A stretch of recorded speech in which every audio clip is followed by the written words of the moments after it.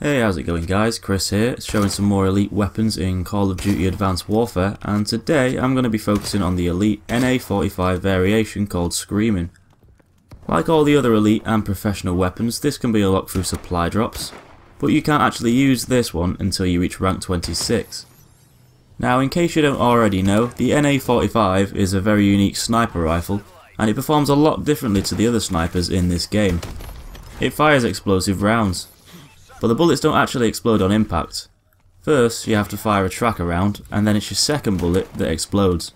Though it'll only explode if it's fired at or very close to the initial tracker round. Though you can still use it as an ordinary sniper rifle, but it'll never kill in one shot unless it's a headshot. So most of your kills will come from this sniper's explosive damage. The gun only has two bullets before it has to reload, and the first is the tracker round that has a little red light on it.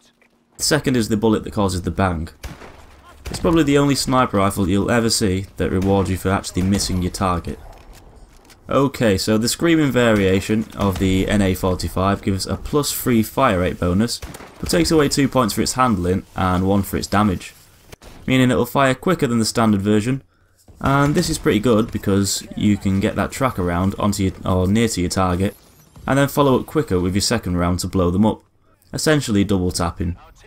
The negative handling point shouldn't affect this too badly as the explosive damage, if near to or directly on your enemy, will kill them anyway, though they might not die if your rounds are next to them. The handling shouldn't be too bad either as I didn't notice much of a difference between the original NA45 and Screamin and the way they performed. ADS time and hipfire didn't seem to change much between these two versions. Now before I get onto the attachments, I'm first going to talk about the perks that you can use with this weapon and the perks that are good against this weapon, and if people are using this gun against you. Because this is an explosive gun, it deals explosive damage. This obviously means the danger close perk is best suited, and should deal a little bit more damage on your shots. I didn't notice a huge improvement with this, but it did kill a few players that might otherwise have survived if I wasn't using danger close.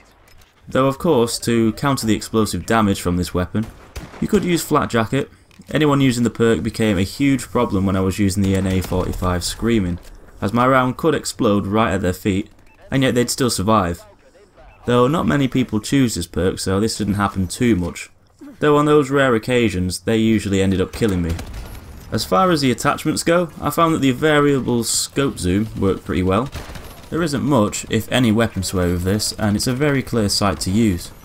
Though the standard optics are actually quite good too if you didn't want to take up one of those Pick 13 slots.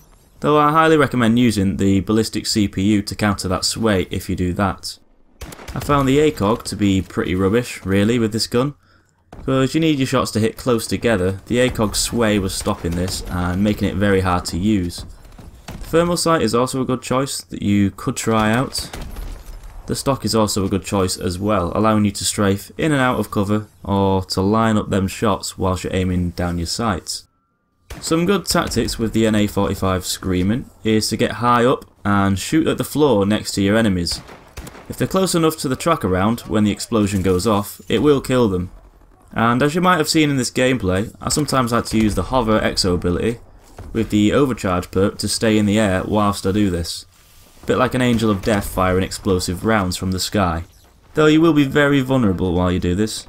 But because of the explosive splash damage, you don't really have to be so accurate, and because you don't actually have to hit your targets, you just have to shoot near them on the floor, and the explosions will go off killing them anyway. You could also create little traps for them, firing your tracker round at the floor in the path of an enemy or where they're about to be, and as soon as they get close enough or run over the tracker round, fire the second shot and blow them sky high.